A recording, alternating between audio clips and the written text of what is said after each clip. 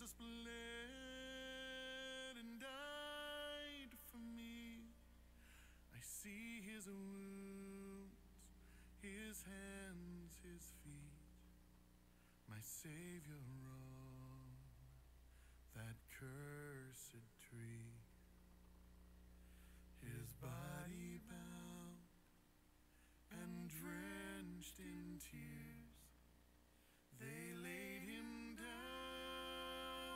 Joseph's tomb, the entrance sealed by heavy stone, Messiah.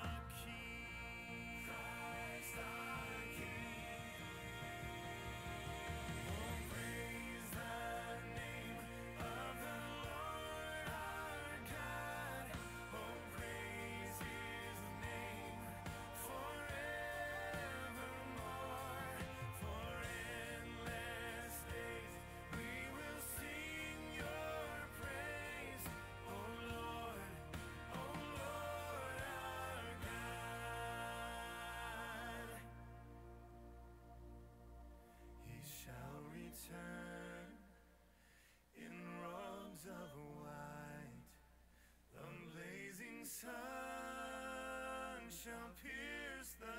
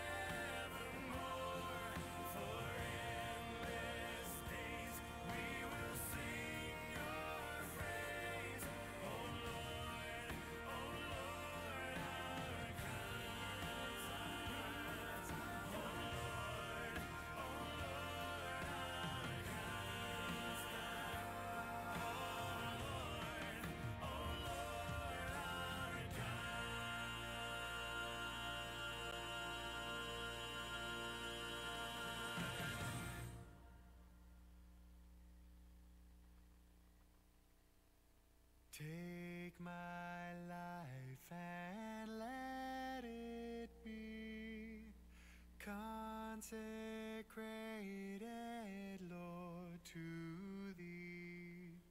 Take my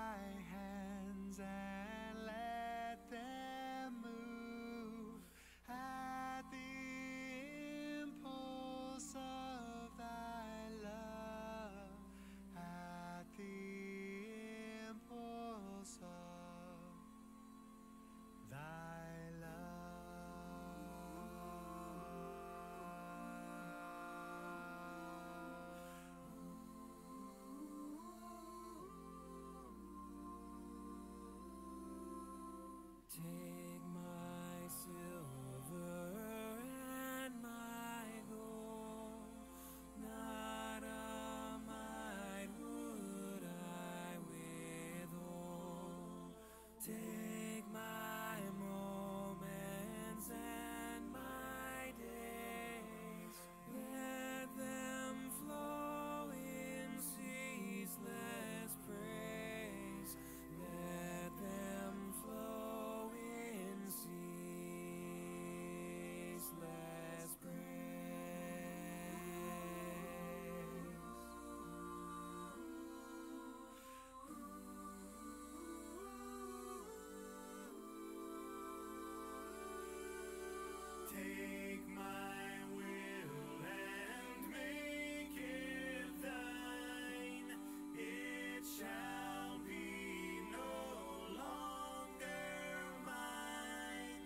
Jesus.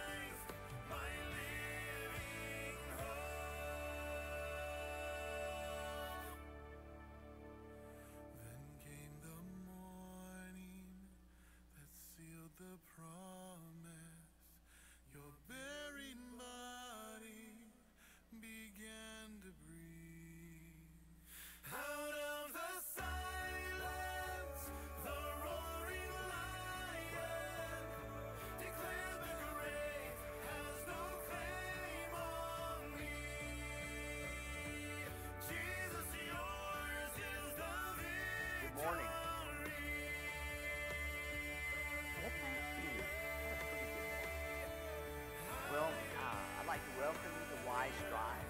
I think there's folks that are kind of clamoring and coming in here. Uh, and they'll hear the music. That'll bring them from the hallways and to the classes. Let's pray together. Father, thank you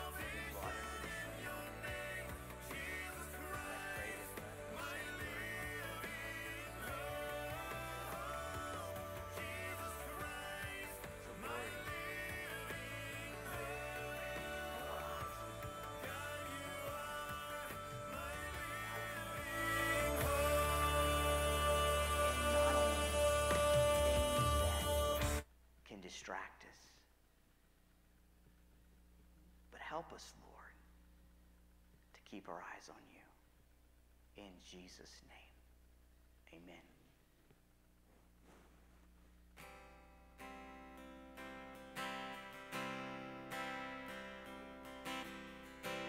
I invite you all to stand and let's sing together.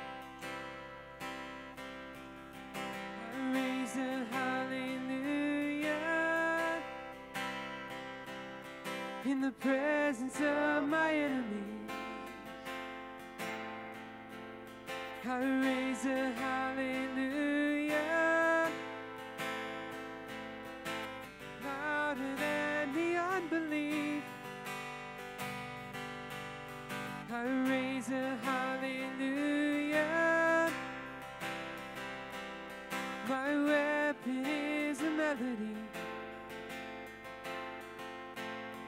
I raise a hallelujah. Heaven comes to fight for me.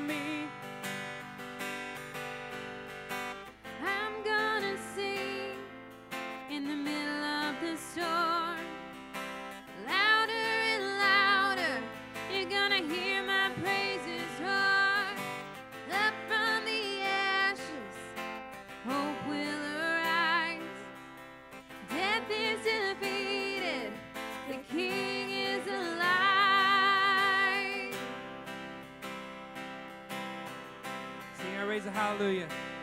I raise a hallelujah with everything inside of me. I raise a hallelujah. I will watch the darkness flee. I raise a hallelujah in the middle of the mystery. I raise a hallelujah. Fear you lost your hold on me. I'm gonna sing in the middle of the storm.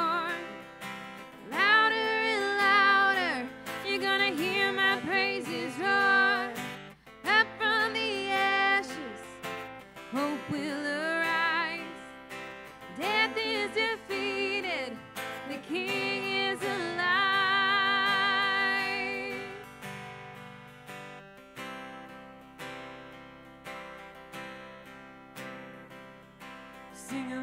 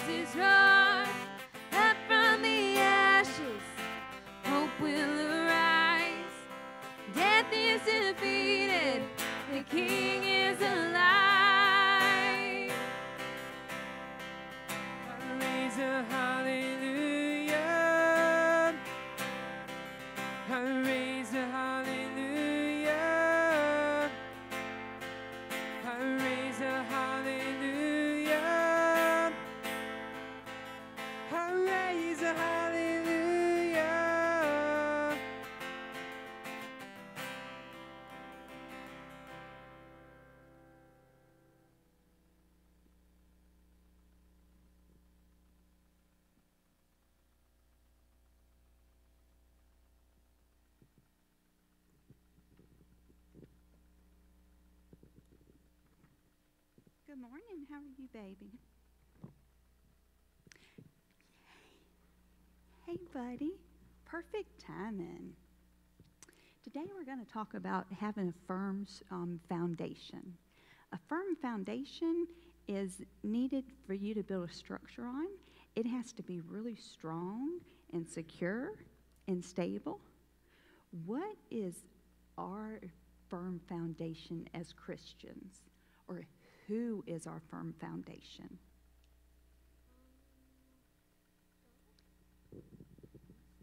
God. Good job. Um, Jesus told several parables in the Bible. Parables are stories that Jesus tells to teach you a lesson um, or a, a moral. The one that we're going to talk about today is the wise man and the foolish man. Uh, What do you think is going to happen if I hit on hit around this?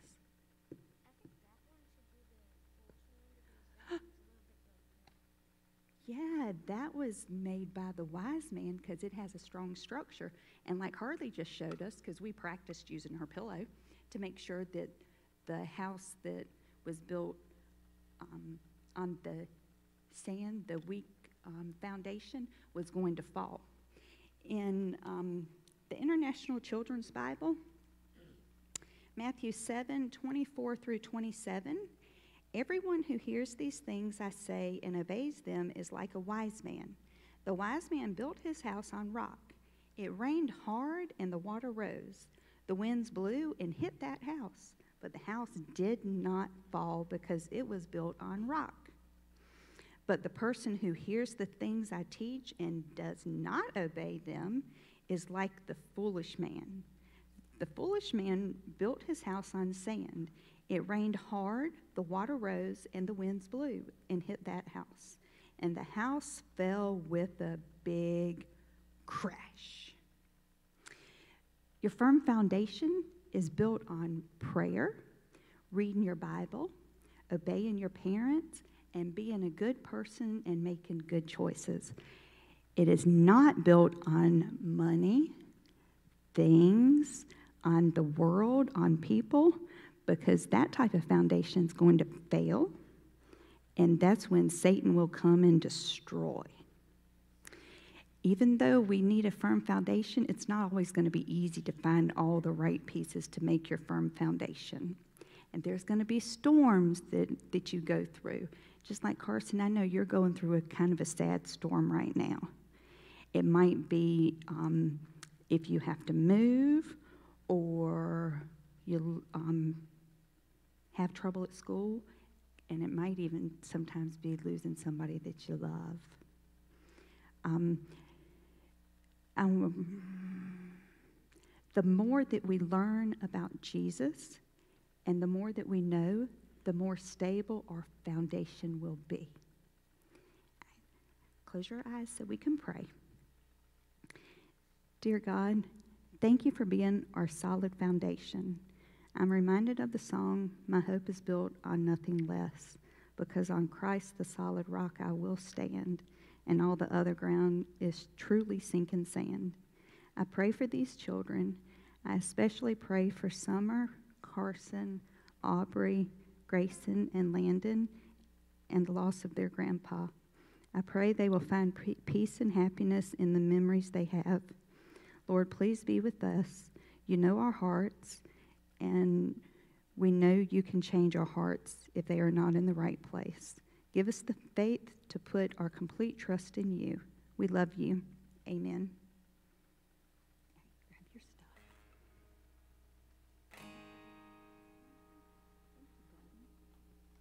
Amen. Okay. We sang this song last week. I invite you all to stand and let's sing the goodness of God again.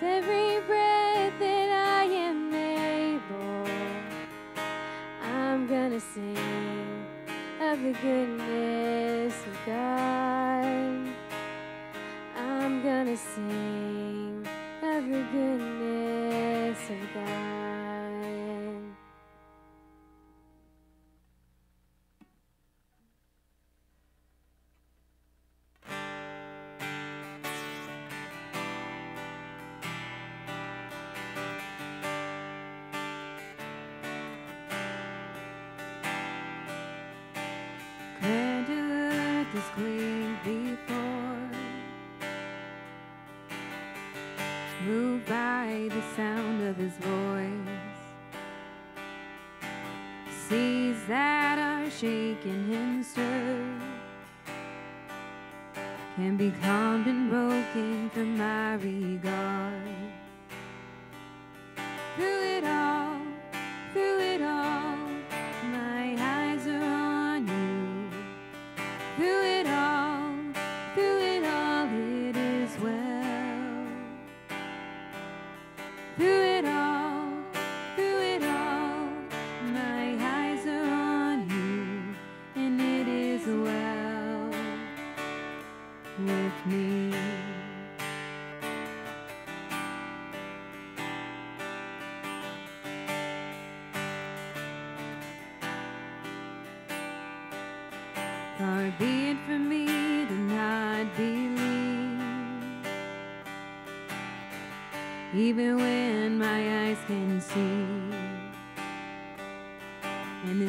mountain that's in front of me will be thrown into the midst of the sea.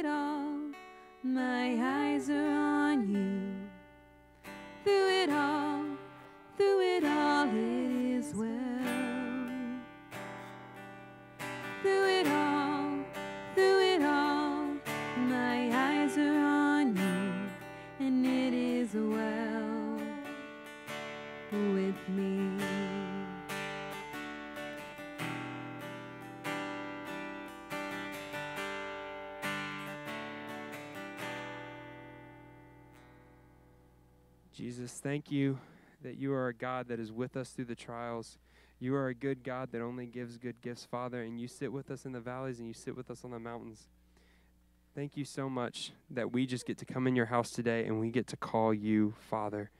Be with us, draw us closer to you in this message, Father. I ask all these things in your name. Amen. You guys can be seated.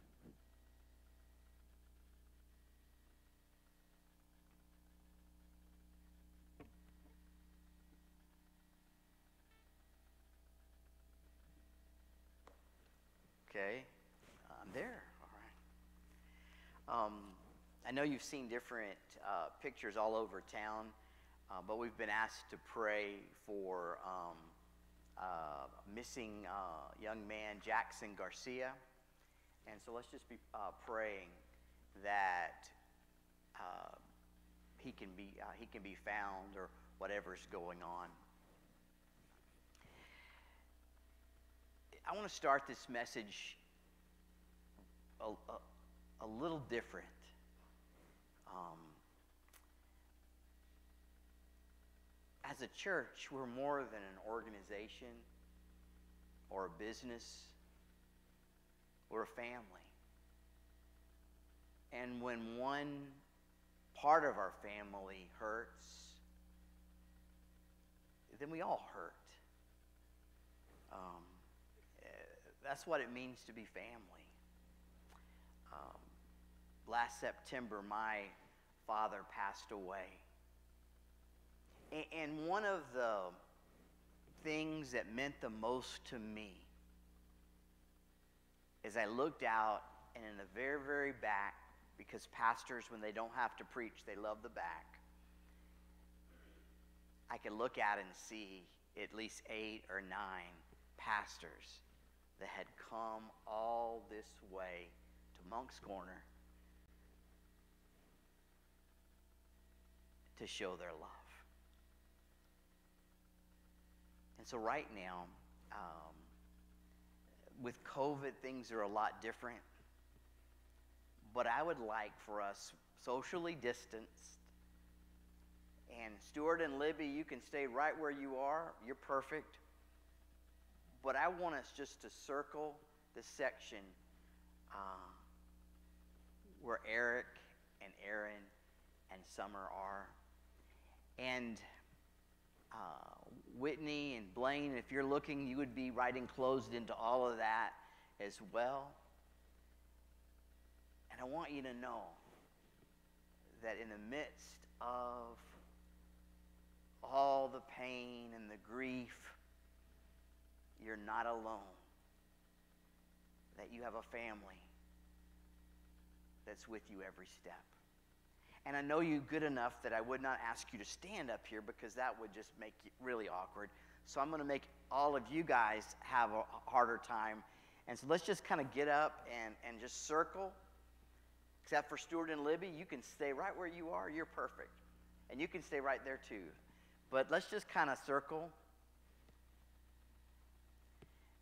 And if it wasn't a COVID, we would all be laying hands, but then we would get you probably sick. But um,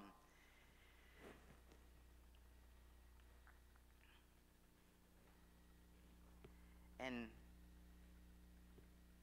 at this point, the streaming you probably cannot see, but we're in this section of the church, and we want you to know that we love you, and we want you to know that God loves you. So right now, I'm gonna um, I'm gonna ask uh, Wayne, and I'm gonna ask um, Bart, and I'll close us. Uh, let's pray together.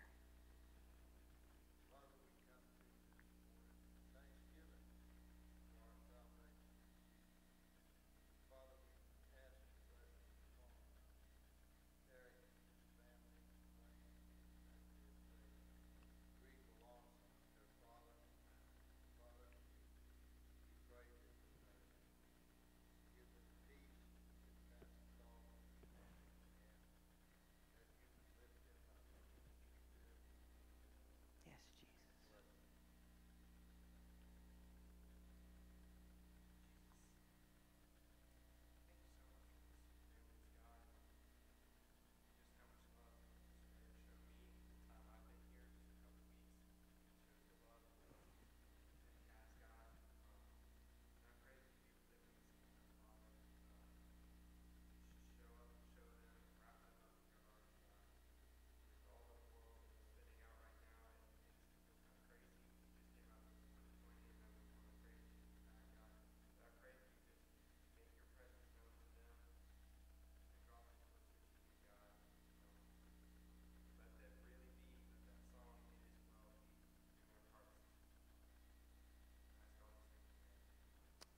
Lord, I, I pray right now for Eric and Whitney and their family and the pain. But Lord, I pray also that they could see. And if it wasn't a holiday weekend, we probably would make the full circle of people that say, We love you. And we're with you every step of this journey. So, Lord, I pray that you will comfort as only you can. And, Lord, I pray that you would lift them up and that the joy of the Lord would be their strength. In Jesus' name, amen.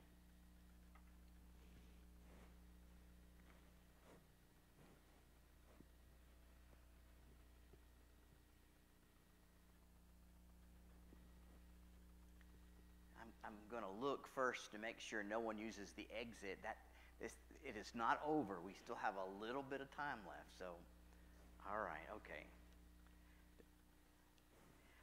Well, can I brag on you guys for just a little bit because I wasn't here last Sunday. I was preaching at another church. I was so so impressed with what you guys did Christmas Eve.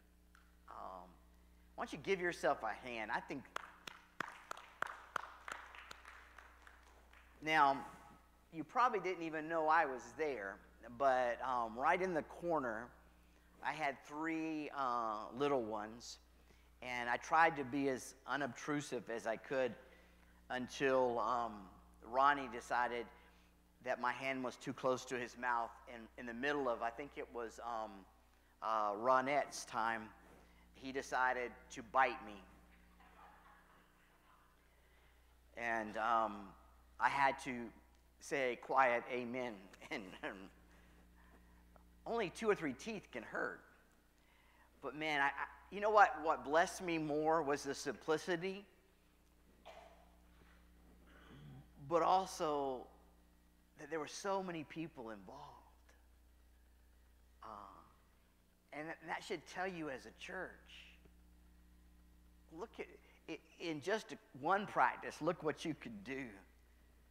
Can you imagine what God what God has in store for for you? Um, and, and we're, we're, we're grateful because when anytime you do any kind of thing, you're going to have some technical difficulty. And Miss Ann was very generous with her microphone, and it went. But it was awesome. Today is the first Sunday of the new year. And if you're like me, Christmas came and went it was almost as if I blinked and it was over. And it can be a little disappointing or depressing because gone are the decorations.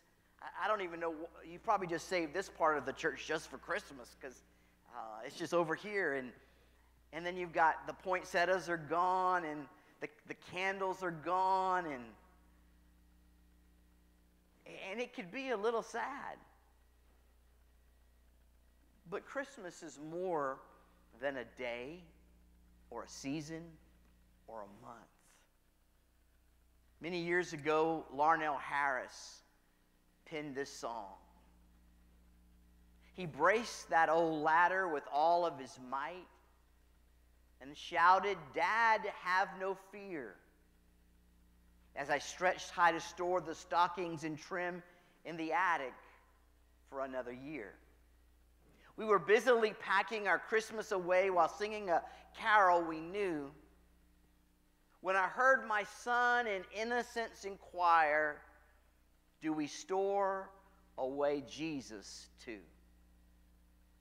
All year long we must worship day by day. All year long tis the season to obey. May the Christmas tree lights and the sleigh rides at night remind us all to stay in God's presence all year long. It's not just a day. The birth of Jesus transforms 365 days, 24 7 of our lives. If you have your Bibles this morning, turn with me to Matthew chapter 11, verses 28 through 30. And because of Christmas week, I didn't get things to Nick, so we're just going to do it old school. There's this written thing called the Bible, uh, or and you can just read it. And uh, I'll encourage you to. Well, he's fast, okay. Um, but I'll encourage you to um, uh, to keep your Bible or uh, God's Word uh, in front of you. This, this, this, pa- this passage is perhaps one of the most famous passages in all of the Bible. In fact, when you memorize something, a lot of times you'll memorize this. So let's read it together. Then Jesus said, Come to me, all of you who are weary and carry heavy burdens, and I will give you rest. Take my yoke upon you. Let me teach you, because I am humble and gentle at heart, and you'll find rest for your souls. For my yoke is easy to bear, and the burden I give you is light. Would you pray with me? Father, we thank you. We thank you for your word, and I thank you for the opportunity to share that word this morning. And I pray you would speak through me, in spite of me. In Jesus' name, amen. 2,000 years ago, Jesus was born in a stable because there was no room for them in the inn. Fast forward 2,000 plus years, and still in our world today, there seems to be no room for Jesus. No room in their families, neighborhood, school, work, lives. No room. Now, we could camp here the remainder of the message, but I want to turn the negative into a positive. And it's to this contrast that I want to camp at this morning. So, what is the contrast? What is the positive?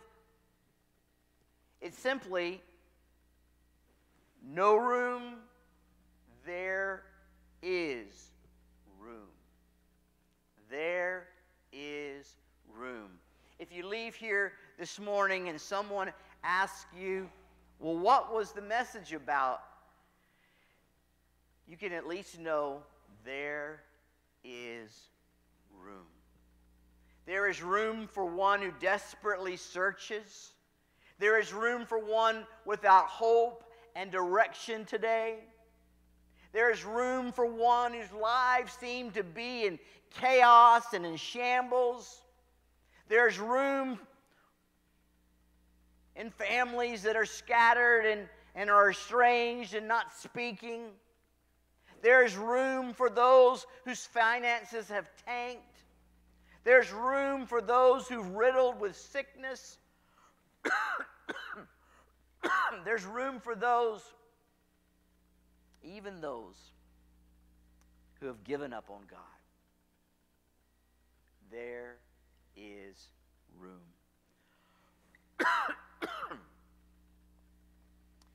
on Monday of the, this past week, my daughter Faith, she was here. We were back in the corner together. I told uh, my daughter, you know, if I had to get three babies to church, I probably would be unchurched because it was it was really really hard. And then it started to rain, and then I forgot that there were steps leading up here. And then we had Good Samaritan Eric who helped us lift the, the, um, the double stroller up. And but on Monday after Christmas, Faith was going to head back to Cleveland. And I didn't want, it was like a nine hour drive, and I wanted to, to give her a, a spot somewhere midway so she could rest but in a hotel. But every hotel I called, they would tell me, no room. Excuse me. No COVID. Uh, unless you're 21. And I called one after the other after the other. And finally, I called the Quality Inn, and they said, There is room. And it was a great feeling to know there was room. Please hear this in the heart of God, there is no vacancy sign, no age limitation. There is always room. God's invitation is always on the table. As you hear this statement, there is room, it's really easy for you to begin to think, well, it's really just for unbelievers. And in fact, it is um, uh, for unbelievers because in Revelation, coming, you know, uh, you know, behold, I stand at the door and knock. If any man comes unto me, uh, you know, I'll come in. Wow, you are, you guys are good.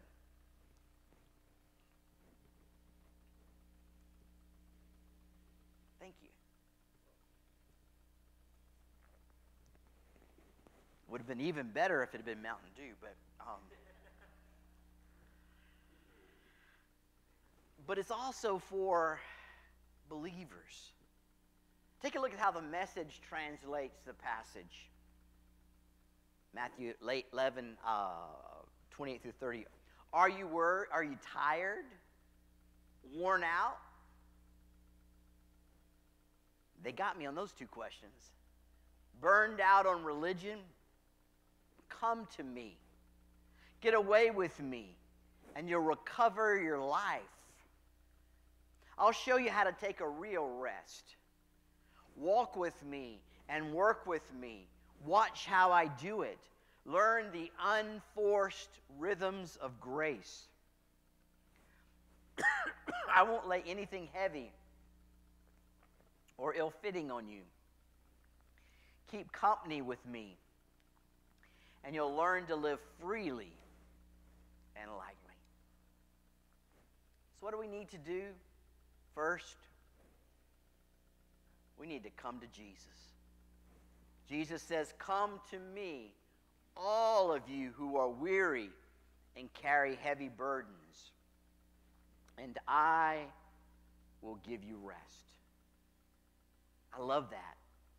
He, wasn't just talking about one group, the Jews. He was talking about Jews and Gentiles, male and female, rich and poor. All of you come to me. He's not saying come to a book.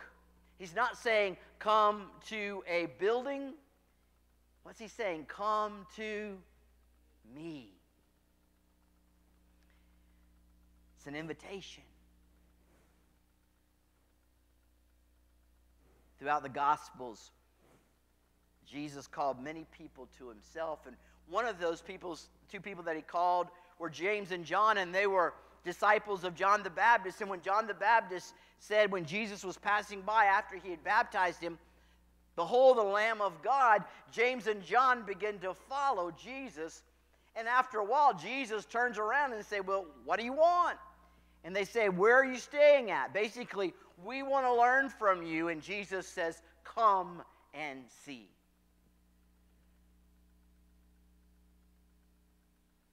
We're not invited to come to him. We're not only invited to come to him, but we don't have to get ourselves all cleaned up first. Come to me, all of you what who are weary and heavy laden. If you're here this morning or you're watching on the stream and you don't have a relationship with Jesus Christ, you don't have to clean yourself up in order to come to Jesus. There was a man that I witnessed to over and over again in Texas. And he always said the same thing when my kids get out of the house, or when I get retired, or when I do this or that, I'm going to come to Jesus. We never know what tomorrow will hold. We need to come today just as we are. If you're a believer, if you're tired and right now you're more weary and burdened, you don't have to figure it all out before you come. Be like the person that hires a maid, but they don't want the maid to see how dirty the house is, so the person cleans up the entire house before the maid gets here. Jesus says, Come as you are. There is nothing that shocks Jesus. Years ago, there was a homeless lady in New York City who attended a preaching service at a Manhattan rescue mission. Afterwards, in the line to receive soup, she mentioned to the preacher that she was now ready to give her life to Jesus. She said, Because I never knew until today that my name is in the Bible. And the preacher smiled and said, What's your name? She said, Edith. My name is Edith. And my name is in the Bible. The preacher said, I'm sorry, ma'am. You must be mistaken. The name Edith never appears in the Bible. She said, Oh, yes, it does. You read it a few minutes ago. And he opened his Bible and she pointed her dirty finger to Luke 15 2. The preacher had used the King James Version, and it says, This man receiveth sinners and eateth with them. She said, There it is. Jesus receiveth sinners and eateth with them. Guys, Jesus will use anything to call us to himself, to invite us to come to him. Second, not only are we to come to Jesus, but we need to take his yoke upon us. Take a look at verse 29 and 30 again. Take my yoke upon you. Let me teach you, because I am humble and gentle at heart, and you'll find rest for your souls. For my yoke is easy to bear, and the burden I give you is light. Now, we live in a day where yoke is a bit dated. And some of us, unless we've been kind of in a place that has farming equipment maybe on their walls or like a cracker barrel or something, but a yoke was a, a, a beam with metal hooks and a U shape that would connect animals. And, it, and in order to do that, by yoking them, you would get more force, you would get more pre- pre- precision, you would get more speed. And so, but Jesus here is using yoke as a metaphor, meaning what is it that you're connected to, bound to, even imprisoned to?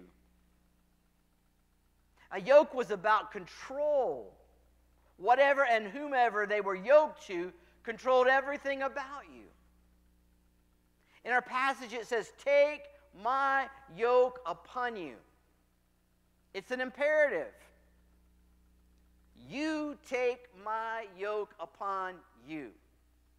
But there's a problem. The problem is you can only have one yoke.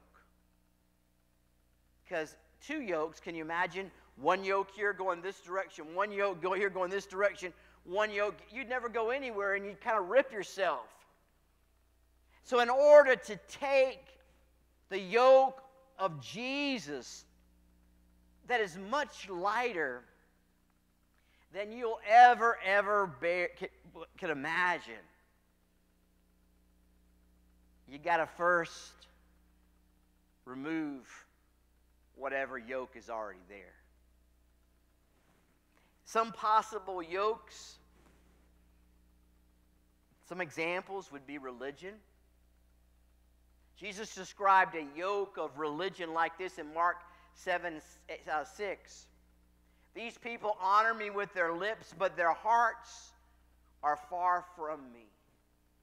Their worship is a farce, for they teach man made ideas as commands of God.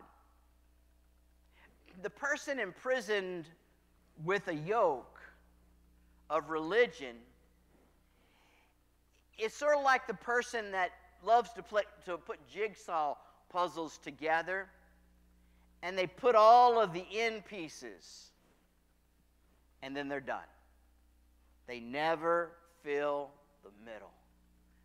A person with a yoke of religion lives their life with all of the do's and the don'ts and often the man made things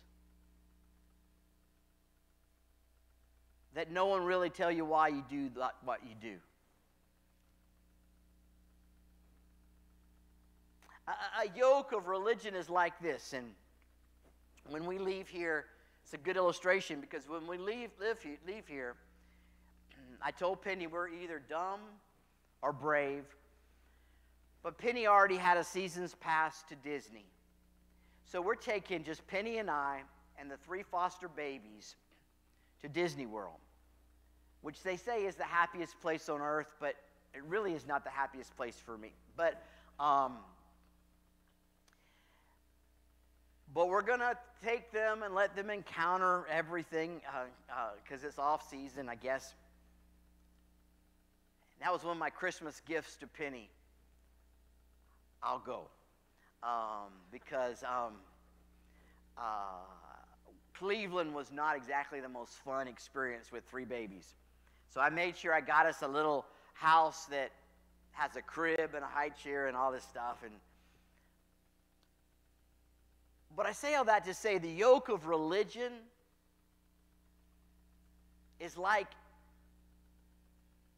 spending years saving up to go to Disney. You researched it. Actually, you said you were uh, a Disney um, uh, expert. I knew somebody that was such a Disney expert, they knew how to take a, instead of on a busy day to take a right, then a left, then a right, then a left, to, to, to, to ride everything. But a yoke of religion is like doing all the research, saving all the money, flying in an airplane to get to Disney, parking at Disney, taking the goofy tram, getting to the open doors where you, where you uh, can uh, buy your ticket before you get on the monorail. And they take a, a family picture.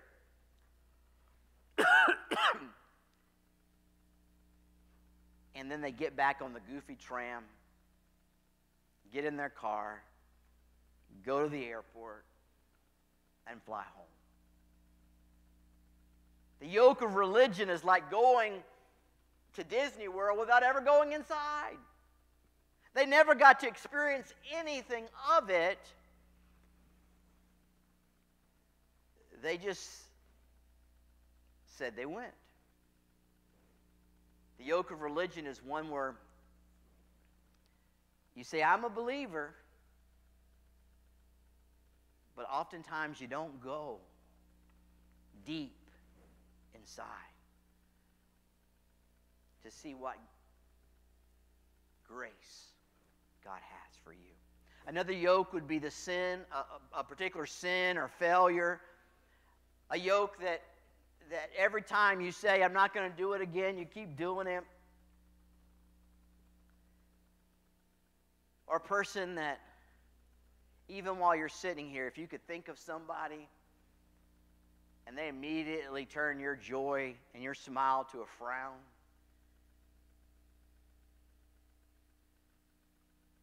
Or maybe there's just something that you can't get past and that you can't forgive yourself. Another yoke would be fear. I love the acrostic false evidence appearing real. This yoke captured a lot of people in 2020. Maybe it's your job, your accomplishments, pleasing people.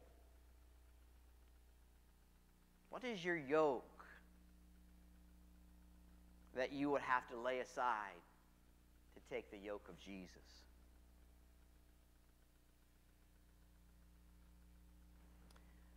Third, and this is the part that really kind of we miss. Let me teach you. It, it doesn't come natural. Have you ever been there? And, and, and it's like to do things the way the Lord wants us to do amidst the world that we live in is like going against the flow. You ever been at the ocean and you're trying to walk against the undertow? And, and it's hard. It, it, it's like trying to go um, to climb up on a down escalator. It's just hard. It takes a lot of extra effort. And that's where learning is important. That's where Bible study is important. That's why I encourage you, you know, even during COVID, to be a part of a, of a Bible study group so that you can learn God's Word and so that you can walk. Let me teach you. Some of us would know what to do if we didn't have heavy burdens boiling us down. So Jesus has to teach us that it's okay. Don't feel like something's wrong if you're wearing my burden that's light and easy. Let me teach you. This past six months, God's given me such a hunger for His Word and studying His Word, probably more studying His Word more than I've ever had in my entire life. And, going really, really deep. I used to always say, well, I'm just ADD and I can't sit still. And, and God's been convicting me that He has so much that He wants to teach me if I'll just stay and listen and learn. If you want to stay with the yoke of Jesus, then look around. You need each other. You have the Word of God, you have Bible studies, you have worship.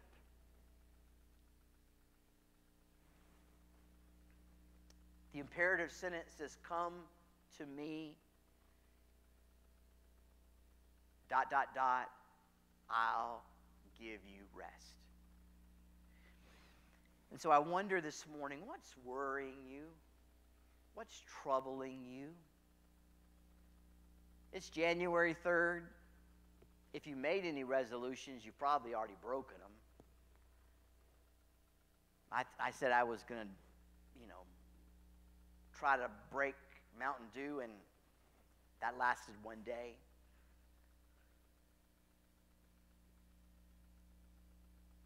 But what is it that's burdening you?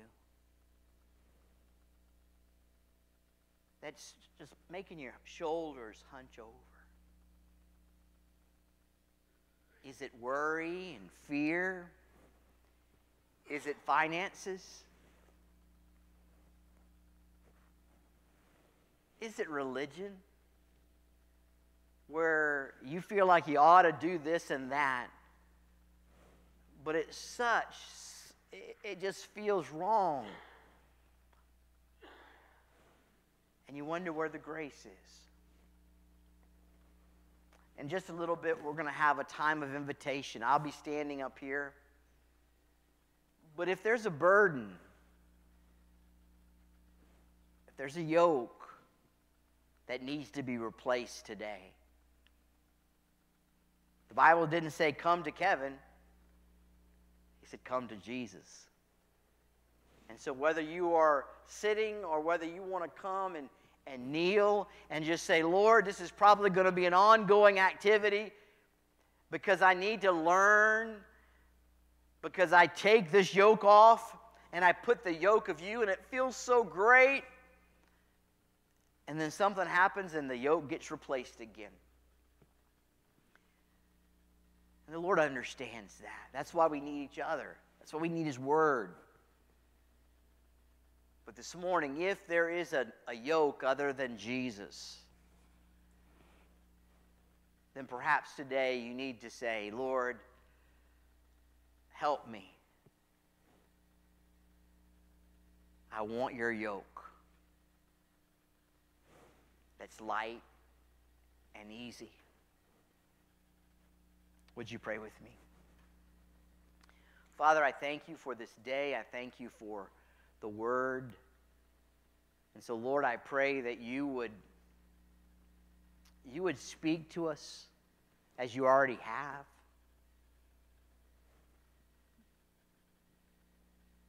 So, Lord, I pray that in the quietness of this moment,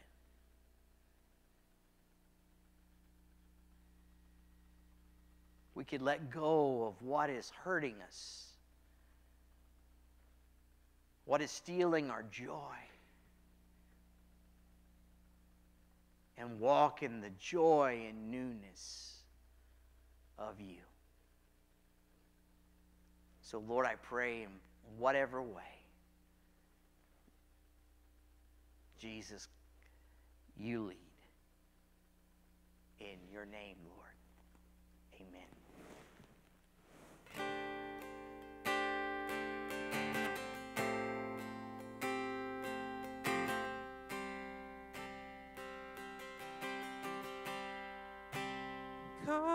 Caught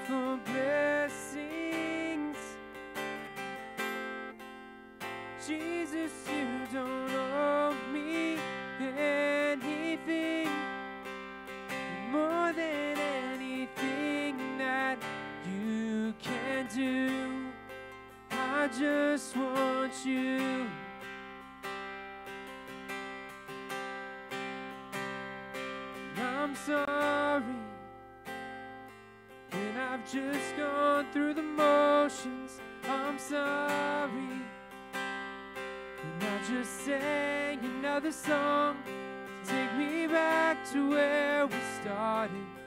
I open up my heart to you.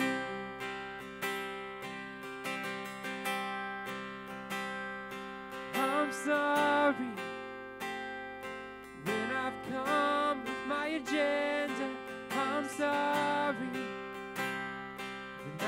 That you're enough take me back to where we started. I open up my heart to you. Caught up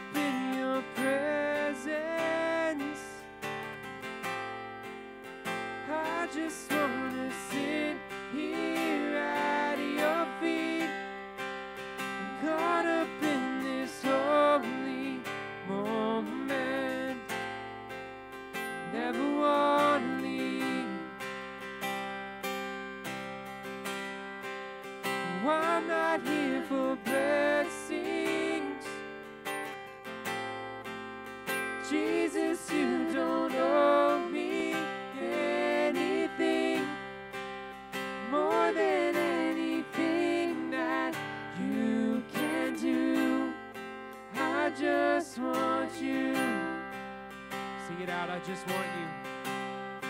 I just want you and nothing else. Nothing else. Nothing else will do. I just want you. Nothing else. Nothing else. Nothing else will do. Just want you. Nothing else. Nothing else. Nothing else will do. I just want you. Nothing else.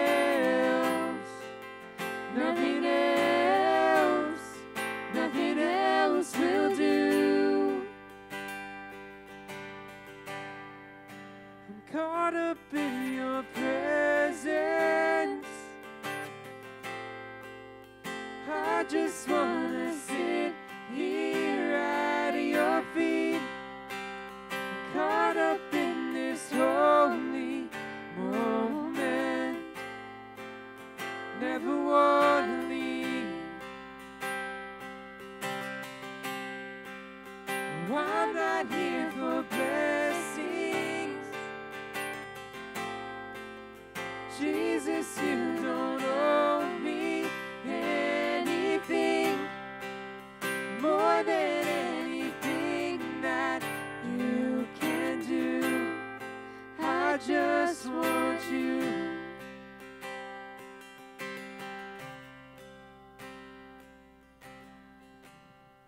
Coming uh, uh, this morning. I want to um, do a special invitation for you. Uh, our, when we kick our Wednesdays back um, on October 13th, I'm not October, January 13th, feels like October, but January 13th, uh, we're going to have our, our Wednesdays come back. And, um, but we're also going to start uh, our Wednesdays with what, I, what, what the deacons and I like to call an open forum. And at that time, uh, myself, the other deacons, uh, it's an opportunity to ask questions. It's not a business meeting. It's just where are we at right now? And where do we see God moving? And then an opportunity to really uh, look a little bit in the past, but to celebrate the future and what God is doing and allow you to, uh, to to participate. And so that'll be October 13th, um, uh, January 13th.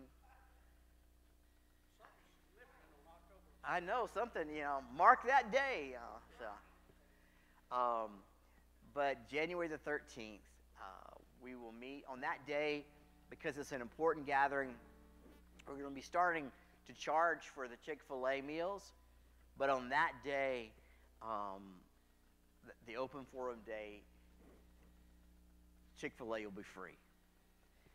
Please get the word out uh, because it's an opportunity. You know, a lot of times people say, I don't know what's going on. This is an opportunity in a relaxed setting while we're sitting around tables eating uh, Jesus chicken just to uh, talk as a family like we would over a kitchen table. So, um, uh, January 13. Let's pray together. Father, thank you for this day. Lord, I pray that you would take what has been shared and the challenges and allow us, Lord, to walk with your yoke and in step with you and in synergy with you.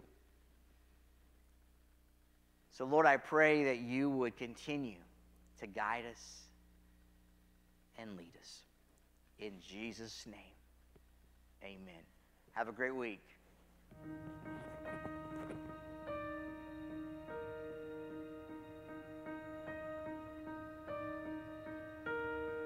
What if we looked after him everyone turned to see what we see? What if we drank from the fountain till we overflowed? What if we basked in his presence till we came out drenched in the fragrance of God? What if we wait? What if we stayed so close?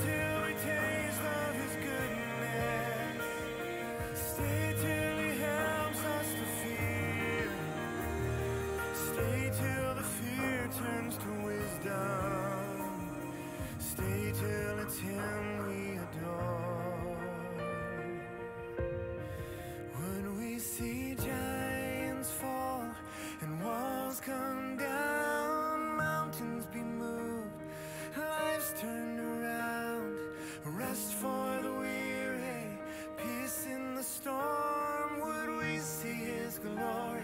Would we see our Lord if we stay? What if we stay? What if we stay?